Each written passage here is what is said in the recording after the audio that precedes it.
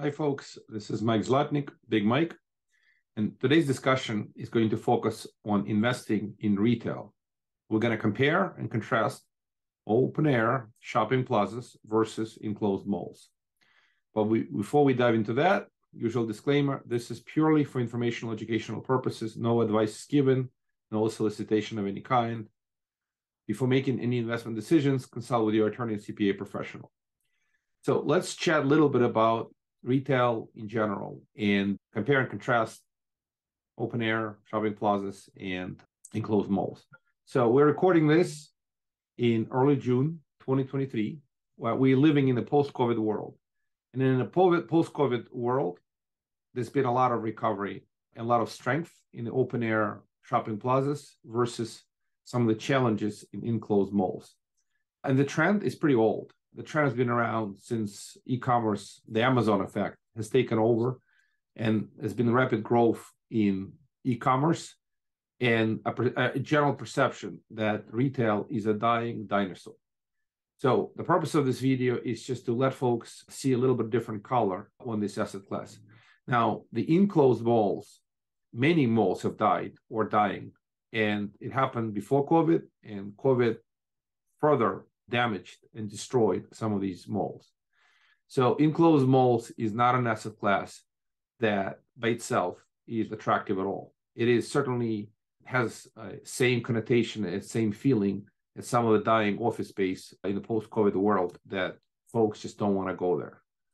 So we don't know whether the office will ever come back to where it was pre-COVID, but many folks just don't want to go to the malls. They get e-commerce deliveries, and they prefer to avoid going to these old shopping malls. However, uh, open air shopping plazas, service oriented retail, experiential retail continues to do well. And the demand for that asset class has been pretty strong as people have experienced COVID shutdowns and many just want to come out, enjoy life. And, and also supply for the retail has been very, very limited simply because the asset class has not been terribly liked and the very limited supply, very limited construction of retail space over the last 10 plus years and continuous growth and the need of pure e-commerce retailers to have physical presence. So many stores that were e-commerce stores have decided to become combination of e-commerce on a website, mobile app, plus physical presence. It has worked. It's something that's been penetrating into the retail. And this is almost the profitable business for many of these e-commerce reta- retailers is to have the stores, not pure e-commerce delivery. So as a combination, they work really well. So the demand for retail space has actually been resilient and the rates have been rising. Now, we don't know what's going to happen on a forward basis. What happens during a recession, typically demand for retail softens. So all that said, in general, open air shopping plazas have done relatively well with high quality retail tenants, many service oriented tenants. The reason I mention this is that I wanted to get a little bit of clarification for in, for folks to understand that retail is a broad term used for different types of shopping plazas versus malls. The old malls, many of them need to be redeveloped. So we, we've seen old Sears boxes, big retailer boxes being redeveloped into self-storage. Some malls are being redeveloped into apartments. Some malls are being redeveloped into some kind of industrial use, big warehouse spaces, or the lights off supermarkets that actually just work as distribution centers. So that some of this has taken place. There's other uses for the malls other than retail. So repurpose, reposition, redevelopment of those malls can make great economic sense but they don't make sense as retail shopping centers. But open air shopping plazas have done substantially well. Of course, all real estate is local. There are different deals, different opportunities, different performance, and different assets. But it's something that has actually seen growth in rents, demand, lower vacancy as a result of limited supply and strong demand growth. So this is something for folks to keep in mind and to understand the difference. Of course, during recessions, certain retailers suffer. For example, high-end retailers generally don't do well. And discounters, Dollar General, Costco's of the world, Walmart's of the world. They do well. And then there are plenty of other discount oriented retailers and service oriented retail that does well during an economic downturn. Something to keep in mind that we as humans are not ready to be locked in our homes, apartments, and live in a box. We experienced that during the COVID and post COVID world. We want to come out, we want to live life. So, especially service oriented retail has been in good demand. Hair salons, nail salons, restaurants, gyms, doctor, dentists, and many other service oriented businesses have done well and they continue to do well and they'll continue to be uh, strong considerations.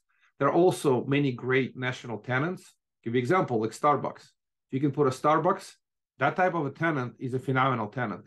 The credit quality is is great, and folks want to get their coffee or their cappuccino or their um, one of these fancy new drinks. So the point is still the same that there are plenty of businesses that continue to do really well, and the retail sector continues to be a very attractive investment opportunity. So let me just talk a little bit about how retail is attractive. Many of these retail shopping plazas sit on great real estate, and then they trade, they sell at the cap rates substantially higher than other parts of real estate.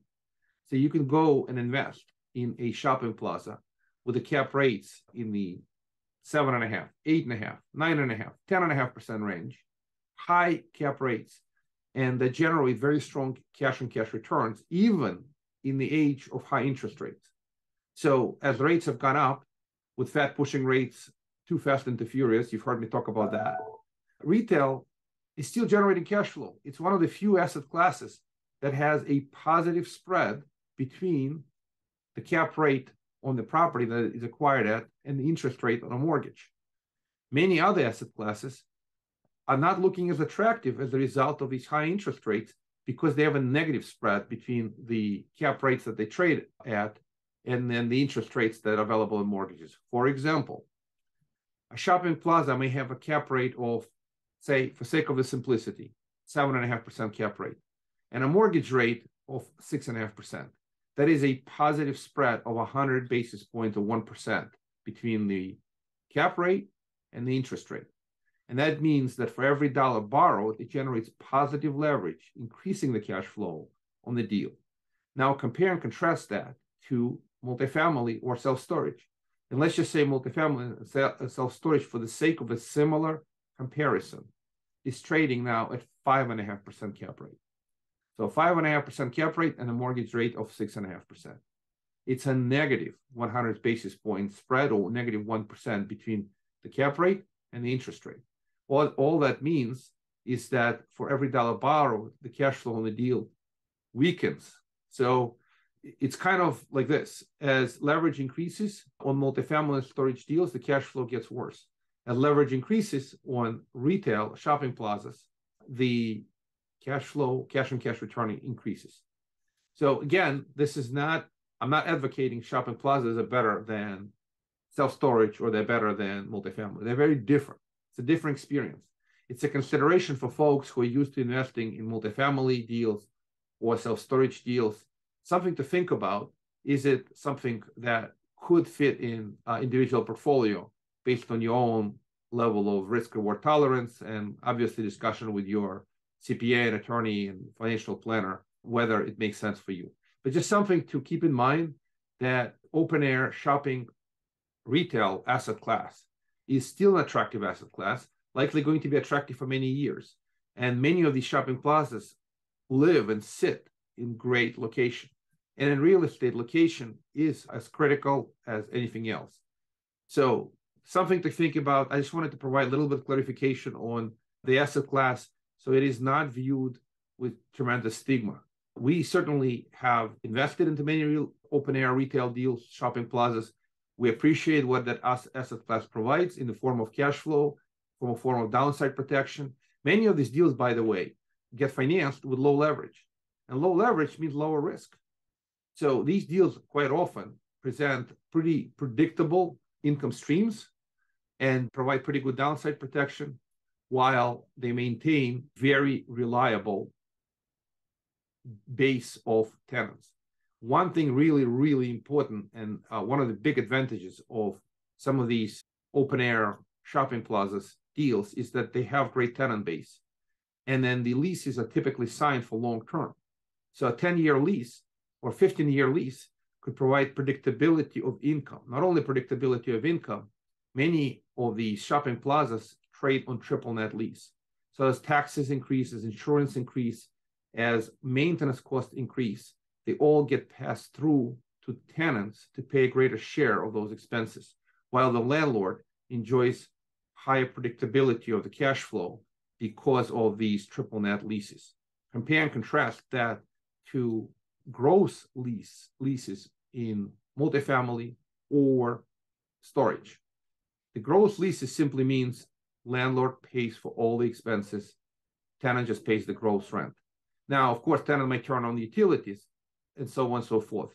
But but in general, as taxes go up, as insurance goes up, the rents don't pick up that additional increase in self-storage or with multifamily.